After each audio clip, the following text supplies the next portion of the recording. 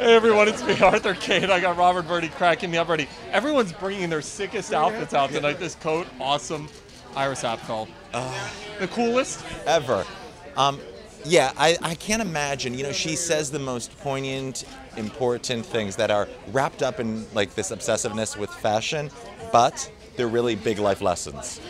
It's interesting because the one thing people don't realize when you think of Iris, she's as opposite from a fashion Twinkie as Correct. it gets. Talk to me about her influence in the fashion world and what she's brought and contributed. I mean, I think that she's everything that fashion is when it's at its finest. It's like, it's a personal expression of uh, a passion you have about art and design.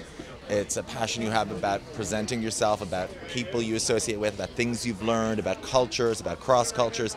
I think what is really cool about Iris, the coolest thing, is that everybody in Manhattan has mini storage, except Iris used the Metropolitan Museum of Art as mini storage when they did an exhibition, a retrospective of her style. It was sort of incredible to see. I'm like, I have Manhattan Mini Storage. Iris has the Costume Institute. Awesome.